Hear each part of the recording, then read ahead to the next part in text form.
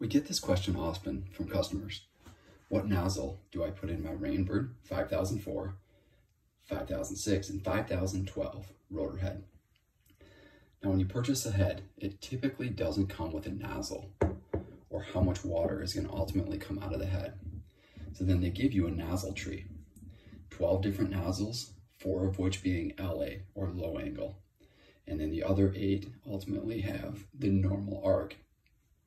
Now our goal here is always for what we call matched precipitation, trying to make that water coverage as even as possible throughout the entire lawn. So for example, what we would do is put a 1.5 nozzle in a 90 degree or a head that's adjusted for 90 degrees.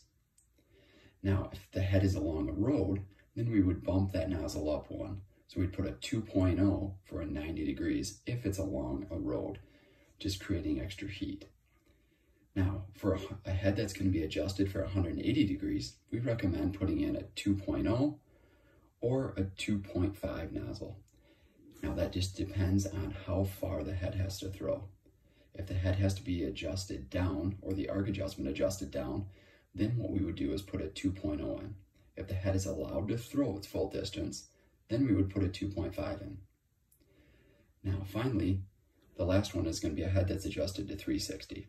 We recommend doing a 3.0 or a 4.0 nozzle, depending again on that distance. How far is the head going to throw? If the head uh, needs to be adjusted down, the arc adjustment needs to be adjusted down, then we recommend a 3.0. If the head is allowed to throw its full distance, then we would recommend a 4.0.